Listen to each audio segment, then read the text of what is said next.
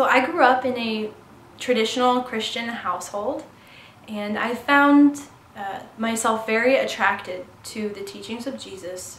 But in my experience of Christianity, I had a lot of unanswered philosophical questions. And because of this, over time, unfortunately, I became an atheist.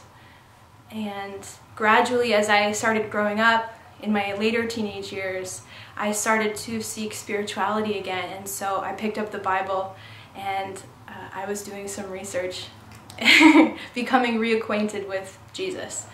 And in that time, I began praying to God for guidance, and I actually met the Hare Krishna devotees. And through them, I discovered um, that Jesus is actually viewed as a pure devotee of God who was sent by God to the material world in order to attract people to spiritual life, to come back to God, to be with God. And to me, this was really poignant because, um, for one, Jesus is highly revered within Krishna consciousness. He's seen actually as our spiritual teacher. And the founder of the Hare Krishna movement quoted him very frequently in his commentaries. And for that reason, I, I could understand that the philosophy behind Krishna consciousness is very non sectarian.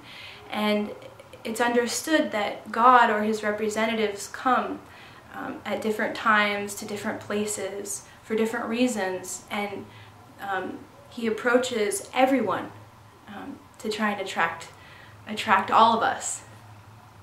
So, um, since coming into Krishna consciousness, I feel that I've become actually a, a, a better and more enthusiastic follower of Christ than I ever was before, and I find um, actually great uh, joy in reading the teachings of Jesus.